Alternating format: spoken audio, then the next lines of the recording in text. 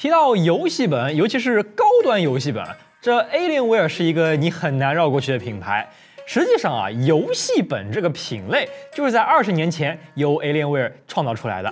而在历史上呢，Alienware 也曾经推出过很多的经典机型，引领了游戏本的变迁。所以今天这期视频啊，我是准备了很多的大家伙啊，咱们一起来上手一下，看看 Alienware 的历史上或者说游戏本的历史上的一些经典产品吧。我们的故事要从二十年前说起。你眼前看到的呢？是世界上的第一台游戏本，二零零二年的 Alienware Area 五 EM，我非常幸运的从一位粉丝那里借到了这台传家宝啊！你说现在哪还能借到这种机器呢？你就看看这造型啊！亮绿色的金属烤漆，夸张到极致的大翅膀，如同异形的血管一般，生怕别人不知道它的特立独行啊！这传承至今的外星人 logo，双眼间还亮着悠悠的信仰灯啊！咱们不妨来看看它的内部做工，聊一聊配置吧。你看看这散热模具，这散热模具，哎呀，看着很原始啊！显卡甚至用的是一块铝块在散热啊！对比一下今天的模具，你还是能看出二十年间散热的进步的。我这一台是二零零三年款，底下压着的是奔四三点二 G，配上 FX 五七零零 Go 的显卡。二零零二年的最早一代用的是 ATI 的 Mobility Radeon 九千显卡。当时的老黄和 ATI 都是刚开始做笔记本上的高性能独显，在此之前啊，你是根本无法想象能在笔记本上玩大型游戏的啊。所以这台搭载了 ATI 独显的 Area 五 EM 问世之后啊，就连游戏界的大佬约翰卡马克都被这种叫做游戏本的新产品大加赞赏，认为能在笔记本上运行像 Doom 三这样的游戏是前所未有的成就啊。另外值得一提的是啊，这台零三年的 Area 五 EM 也是最早一批可更换显卡的笔记本电脑。由于当年的老黄 FX 五千显卡不够给力。很多买了这台 NV 版的玩家啊，后来都自行去升级了 ATI 的 Radeon 九七零零。哎，这个九七零零要比当时的 N 卡要强很多啊。那笔记本的用户也是第一次体会到了台式机一般的可玩性啊。其实啊，就算是这台机器里搭载的 FX 五七零零 Go，也已经挺不错的啦。因为我运行了一下当年的大作 GTA 罪恶都市，即便我们满分辨率，也就是一六八零乘一零五零运行。这台 Area 五一 M 也能够跑到四十五帧左右，在当年主流的一零二四乘七六八分辨率下呢，更是能跑到八十帧以上。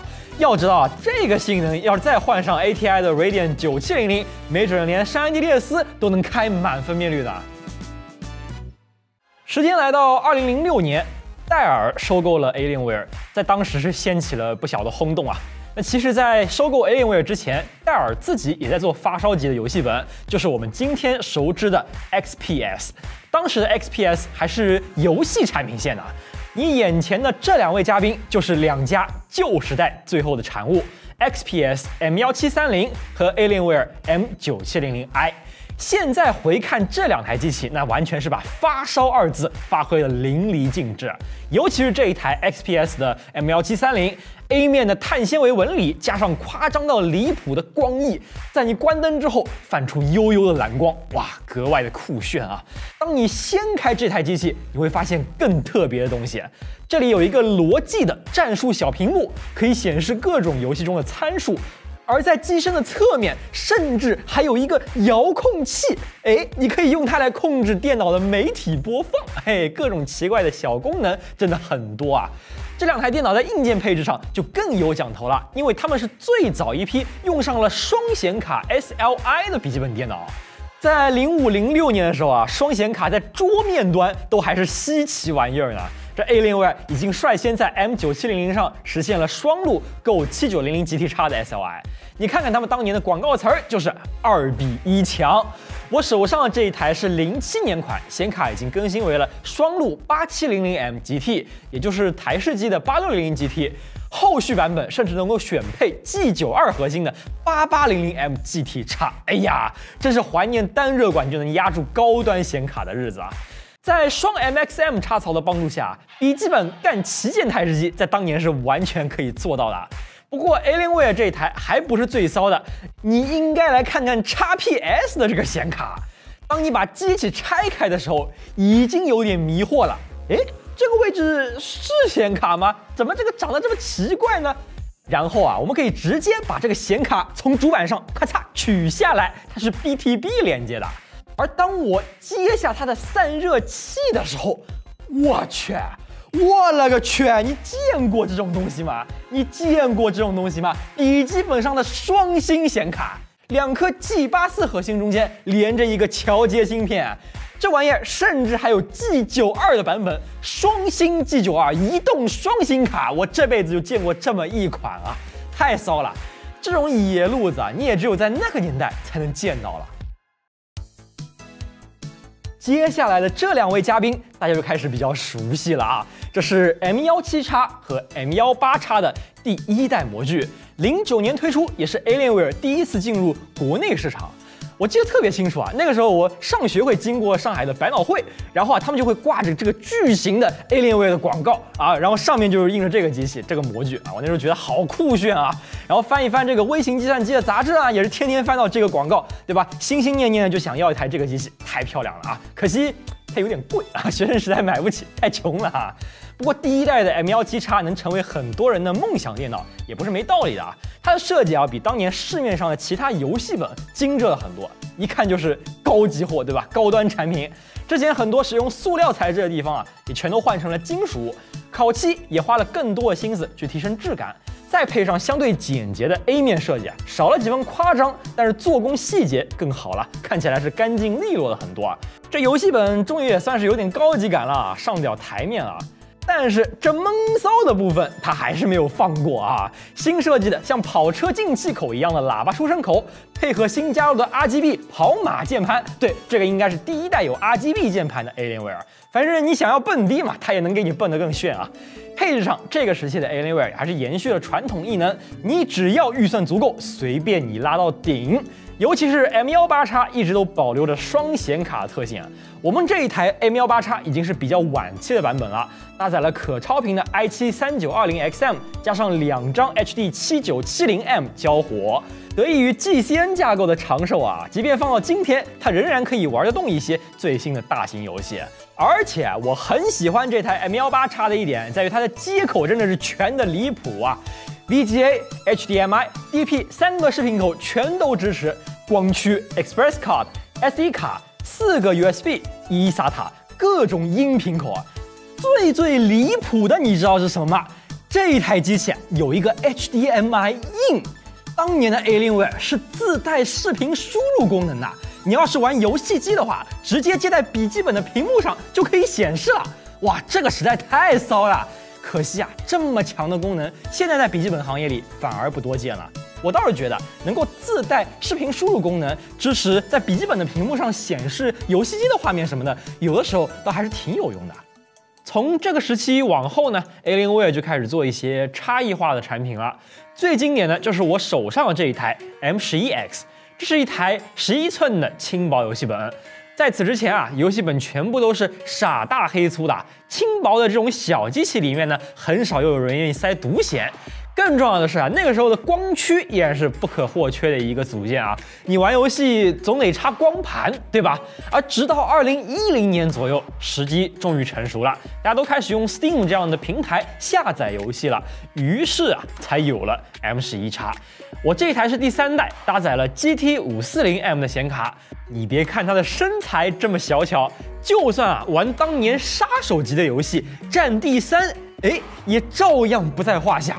咱们在一三六六乘七六八的原生分辨率下开到低画质，也是一样可以流畅运行的。这样一个独特的迷你游戏本，对于当时出差也想打游戏的同学来说，那是相当有杀伤力啊。小型游戏本这一条产品线啊，在 Alienware 也是得到延续。二零一四年，当 Alienware 再次换模具的时候，他们推出了这一款 Alienware 十三。新一代的模具在外观上是更现代、更硬朗、更有科技感一点了，少了一点炫啊，多了一点酷。这台十三寸的小电脑也是 Alienware 历史上最轻的一台机器，重量压到了两公斤，比 M11X 还要再轻一点啊。为了做到这种便携性，配置上是有所牺牲的，用了一颗低电压处理器，但显卡倒是还不错啊，它提供了一颗 GTX 860M，当时非常靠谱的一张笔记本显卡，发热又低，性能又强，所以这台小电脑玩个 GTA 五什么的也是轻轻松松啊。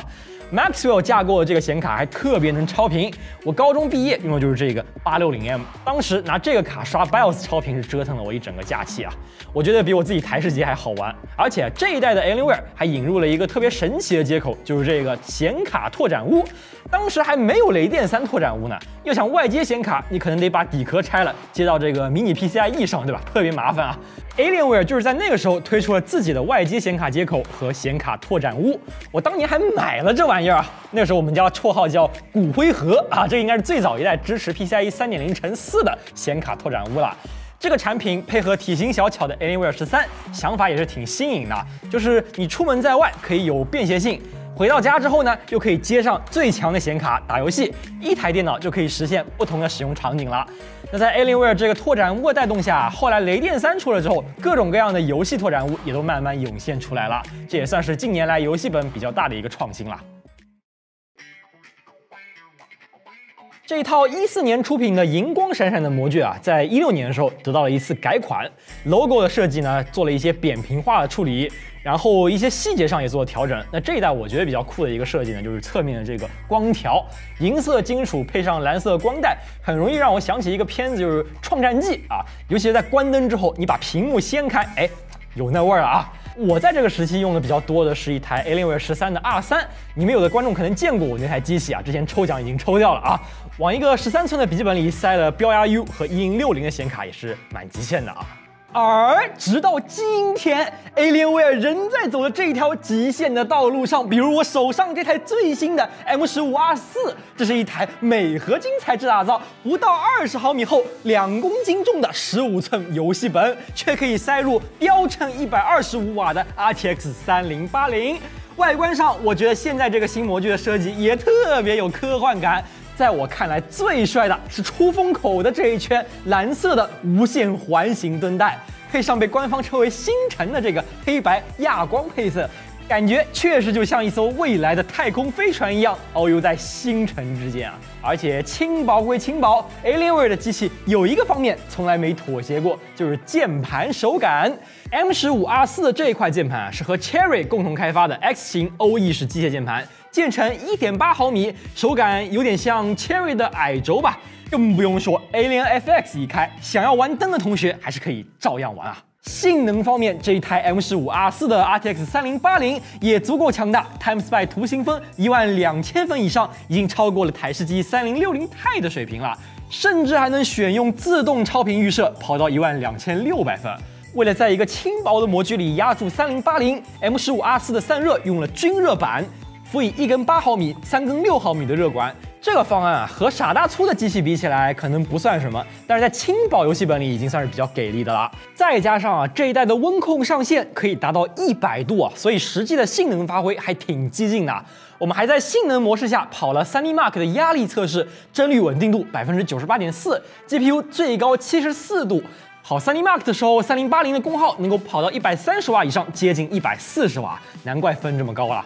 这一套模具算是能勉强压住三零八零吧。对于那些又想要轻薄又不想要牺牲性能的同学来说，这 M 十五 R 四确实是个不错的选择啊。最后，Alienware 的天猫超频日也即将到来了，Alienware 外星人旗舰店千元降价优惠加二十四期免息，更有星际机甲定制礼盒赠送，赶紧去看看吧。好了，感谢各位的观看，别忘了长按点赞一键三连，我们下期节目再见啦，拜拜。